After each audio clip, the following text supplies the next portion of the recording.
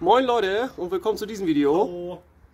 Ja, Flo und ich, oder hauptsächlich Flo, weil er kann das auch äh, mit verbundenen Augen, das werden wir auch ausprobieren. äh, geht heute in zwei Videos um den OM651, der steckt jetzt in einem 204. Ja, also Äh, auch Sprinter, E-Klasse, Genau. Generation, alles, wo der halt irgendwann mal drin war.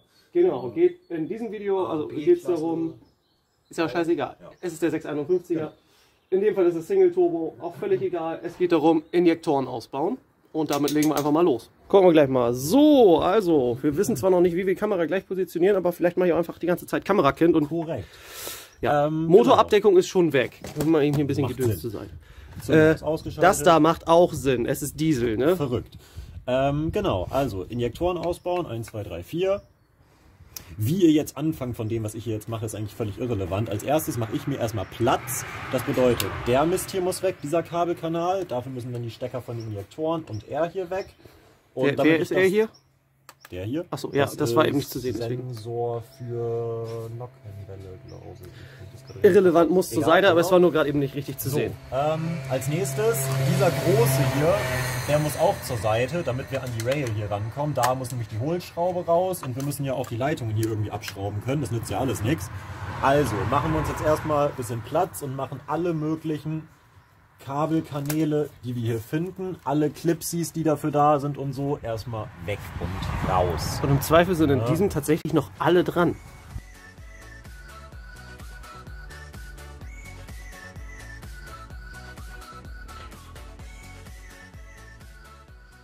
Also mal eben. Herr Heidmann hat hier irgendwo, ich muss sie selber suchen. Die Außentalks da unten, oder was? Nee.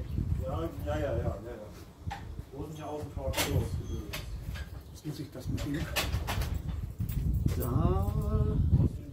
Also da. Außentalk? Das müsste 8er Außentalk noch sein.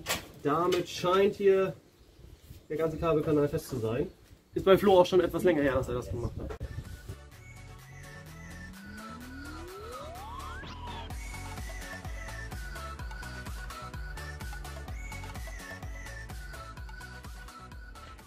Ähm, wir machen jetzt nochmal eben folgendes.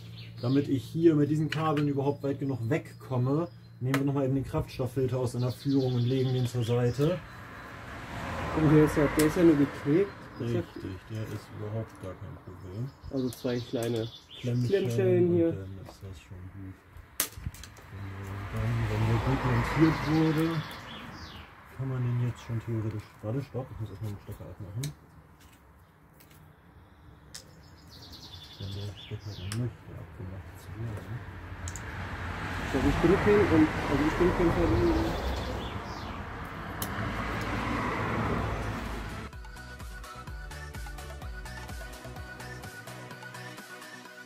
Wir haben jetzt hier Muttern, kommen wir wunderbar mit dem Schlüssel alles ran. Alles tipptopp. Die kann man natürlich auch wieder wunderbar mit Drehmoment anziehen. Korrekt. Das können wir tun. Nicht. Ähm, als nächstes, ganz wichtig, die Injektor-Rücklaufleitungen, also die Sprit-Rücklaufleitungen. Ähm, das Patent ist etwas doof. Man muss hier oben, ach, das kannst du, glaube ich, vielleicht mal die Kamera in die Hand nehmen, sonst sieht man das nicht. Ne? Ja. Ich suche schon mal in den. Ist das 19? Nee, 17. Hätte ich auch sagen können, wenn so gefragt. Ja, ich kann dich nicht unterbrechen. Okay. Tatsache. Verrückt. So, äh, ich komme noch kaum an die Kamera ran. Das ist jetzt ja dein Problem. Muss man wieder wegnehmen. So, jetzt. Also, Rücklaufleitungen. Ähm, ihr seht hier so eine kleine weiße Markierung. Hier oben. Wenn die sichtbar ist, dann ist alles in Ordnung, dann ist das korrekt verriegelt. Das bedeutet also, ihr müsst diesen kleinen Nupsi, der jetzt hier hoch steht, wo ich jetzt gerade dran bin, in diese Richtung rausziehen. Ganz, ganz wichtig dabei, diese Dinger sind so ekelhaft klein und widerlich und zierlich, dass man die unfassbar gerne kaputt macht. Seid da vorsichtig bei. Ansonsten ganze Ja. Rücklaufleitung neu, ne? Äh, ja, ich glaube, die Stecker gibt's nicht.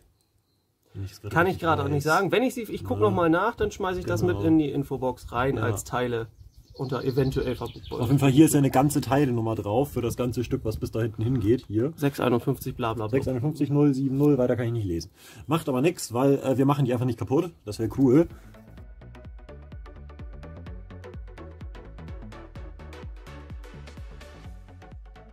Ähm, entriegeln ist recht easy. Ihr könnt ähm, tatsächlich, wie verriegelt ist, hier vorne zwischengehen und einfach so hebeln, dass der zurückkommt. Da ist ein kleiner Spalt zwischen dem Injektor und dem Plastikteil. Das geht. Jetzt kommt aber der kritische Teil, erst nämlich das da rauskriegen. Weil die sitzen dann natürlich ein bisschen fester drin. Da müssen wir jetzt mal eben gucken, dass wir da keinen Mist machen mit.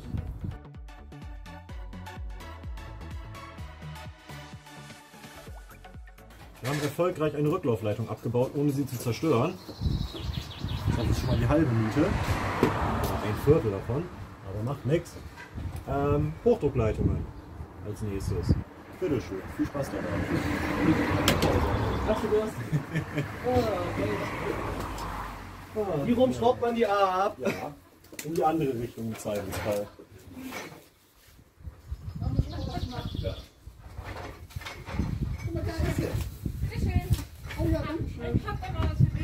So, also 17er Maul, 17er aufs Maulschlüssel und dann brechen wir das alles einmal ab hier.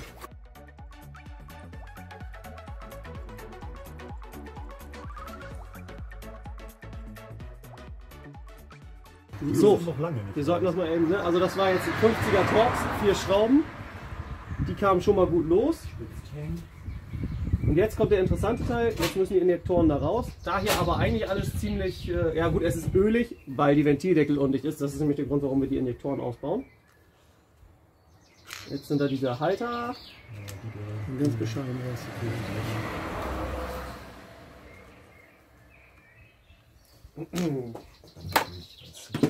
Ich muss die zusammen rausholen mit dem äh, Ich möchte jetzt die Handschuhe nicht extra wegschmeißen.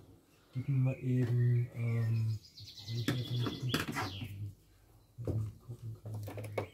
Ja, ich brauche einen Schlüssel. dass Ich den ein bisschen hin und her drehen kann da drüben noch. Wir haben ja keine Führung. Nee, Ja, egal wie. sieht aus wie 19. Kann sein? Nur noch hier den 17er. 17, ja. Dreht. Nummer 1. Nummer 2. Dreht auch ein bisschen hin und her. Geht auch. Nee, da bist du nicht drauf. Nee, da komme ich nicht drauf. Nee, komme ich so nicht Äh, drauf. es kommt aber gleich auf letztes, wenn ein bisschen mehr Platz ist. Der dreht Der auch. dreht auch schon. Also wir haben nur noch einen, der jetzt mit dem Schlüssel nicht drauf kommt. Wir haben einen Injektor gefunden. Und. der hat Öl abgekriegt. Bisschen. Ich finde, es lebt noch da unten jetzt. Wenn ihr jetzt alle Injektoren raus habt, nehmt ihr einen dicken Kreuzschraubenzieher, um die Kupferringe aus den Schächten zu holen, wenn ihr da nichts anderes Spezielles für habt. Ähm, der Schraubenzieher muss halt ein bisschen dicker sein und als, der, äh, als das Loch im Kupferring, dann drückt man den von oben in den Kupferring leicht rein, verklemmt er sich und dann kann man den nachher einfach rausziehen. Dann müsst ihr noch den Schacht reinigen, idealerweise mit einer Nylonbürste oder sowas. Ähm, ja, das Videomaterial, was wir dazu hatten, ist leider absolut unbrauchbar.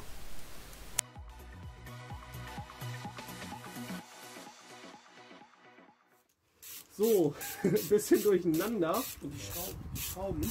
Ersten Injektor hat er schon wieder drin. Wir haben neue Schrauben, neue Dichtringe unten. Natürlich einmal alles sauber gemacht. Das schneide ich mal eben jetzt mit rein. Das ist äh, irgendwo anders gewesen. Ja, war ein bisschen durcheinander gerade. Also Spannplatten neu, Schrauben neu, Dichtring und also Kupferring unten neu. Und natürlich jeden Injektor wieder an seinen Platz. Anzugsdrehmoment kommt gleich, das muss ich nochmal eben schnell nachgucken. Aber steht sowieso auch in der Infobox.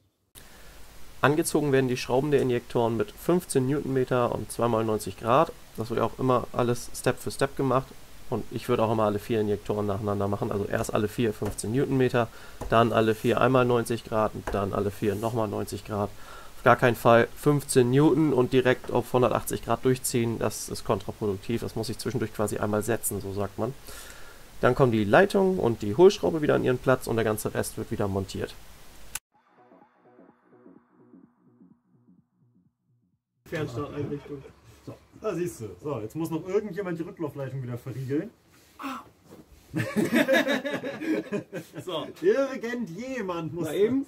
Hierfür für die gibt es kein vorgegebenes Drehmoment. Das ist ja machen. machen nicht zu fest. Das ist wirklich ja, das ist wirklich ein Au ausnahmsweise nicht festknallen, die Scheiße. einen langen Hebel, einen Schlagschrauber. Einfach festknallen, die Scheiße. Oh, der erste ist fest. Ansonsten machen wir dann Topper-Tops drunter.